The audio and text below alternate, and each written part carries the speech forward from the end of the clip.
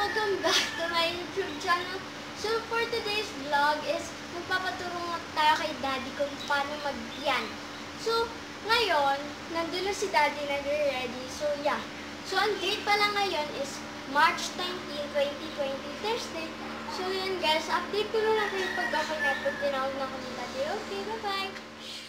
Guys, we're back and magpapaturo na tayo kay Daddy. And first, may tatanungin muna. Daddy, kailan ka ba nag-start mag-piano? Bata pa, mga 9 years old. 9 years old ako. Kay isin, saang lugar ka, anong school yung pinapasukan mo dati? Oo, pinapasok ako ni dada mo, nanay ko, sa lipang ko dati. Ay, ayoko pa pumasok nun. Bakit? Kasi puro laro yung gusto ko. Same lang ka. Inuto niya ako para pumasok, binibilan niya ako ng toys para mag-piano lesson. Pero bata pa lang ako. Pero na ako mga piano, mga toys na piano, kaya natuto rin ako. Nasa harap ko agad yung piano. Keyboard, ganun. so guys, mag-start na naman. Pwede ba magpaturo? Okay, sige. Paano?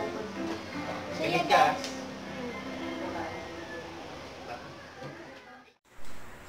Ready ka na? Yes, Daddy. Okay, ito. Start na tayo. Magsimula tayo kilalanin ang mga keys. First, hanapin natin ang middle C. Ito ang una. Pangalawa. Ito ang middle C. Alamin natin ang sharp. Ang sharp ay tataas ng half note. Ayan. Ito ang C. Tataas ng half note. Sharp. Kapag dalawa, whole note na siya ang tawag. Ang C magiging D, whole note. Tagdaan, half note pag isang teklado lang, pababa o pataas, whole note pag dalawang teklado, pataas o pababa. So kung ito yung C, ito yung C sharp. Then D, E flat. Flat, kasi ito ang E, pababa ang flat. F, F sharp, G, A flat. Ito ang A natin, flat, A. B flat, ito ang B, kaya flat ito. Ito ang B. Then, C ulit. C, C. Isang octave. Isang octave siya. So, yung keyboard natin may 1, 2, 3, 4, 5 na octaves. Gets mo?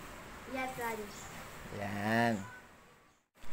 So, ituturo ko sa inyo ngayon ang major chords to minor chords. Halimbawa, ito sa C. May tinatawag na triads. Bali, yung first, third, at fifth siya sa scale ng isang key. Ito ang C. Tatlong tunog. C major to. So, gagawin nating minor. Bali, ipa-flat natin yung third. Ito ang third natin. Ipa-flat natin. Ayan. C minor na siya. Tunog malungkot. Parang ma- lumalim. Ito ang major. Yan ang minor. Dilipat lang natin. Sa lahat ng key, ganun din ang gagawin natin. Ito ang C sharp. Yan ang itsura niya. First, third, fifth. Ima-minor natin, yung third, ibababa natin. Yan. Minor na siya. Ganun din sa D. Ganito itsura ng D.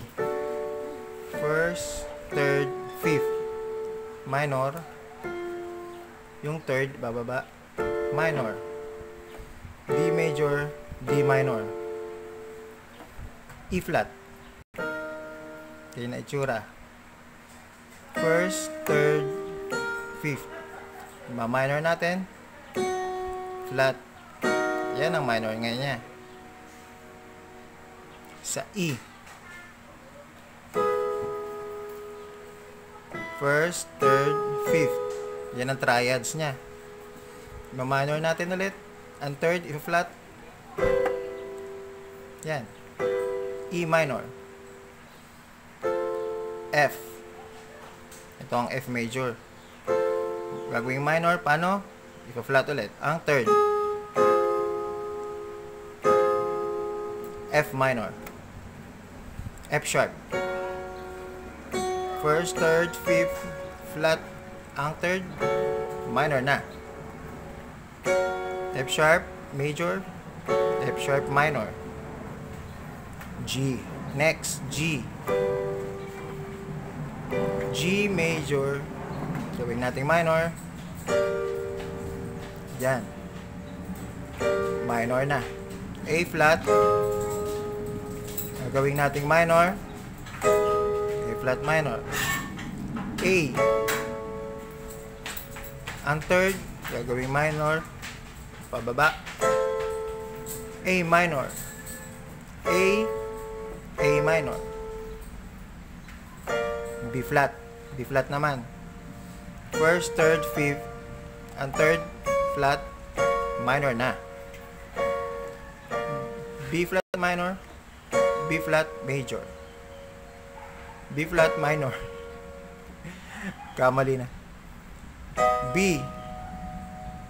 Gawin natin minor. B. Yan ang B. Major, minor. Then, C ulit. Balik lang din. Bale, dito sa mga teklado sa kaliwa, tawag dyan mga bass notes. Mabababa yung tunog. Dito sa kanan, higher notes. Yan. Pwede tayo mag-chords dito. Pwede tayo hanggang mag-chords dito. Pero ako, di na ako nagko-chords dito kasi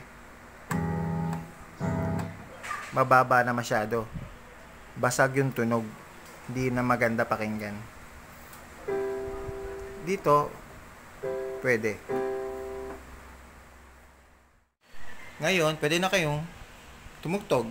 Sasabayan nyo lang ng bass ang chord sa taas.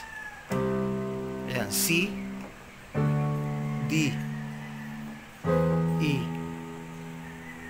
May mga songs na apat lang yung chords, pwede na kayong kumanta. May tatlong chords, unti-unti lang. Matututo rin kayo niyan. I-memorize nyo rin yung mga key. Then, ayan. So, ayan. Sana may natutunan kayo kahit konti. Basic lang yan pang beginners.